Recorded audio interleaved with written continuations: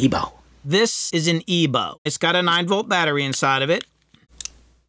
It's got these tracks right here. You put this on the strings either side of the one that you want to play. It does some sort of electronic or magnetic field that vibrates the strings.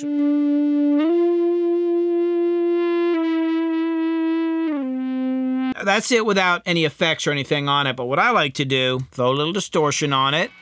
I'm also going to filter it a little bit and then some delay, and then you get this.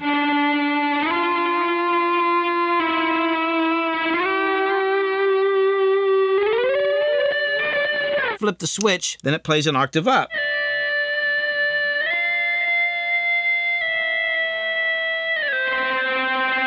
I like to use my lap steel when I'm using the EBow.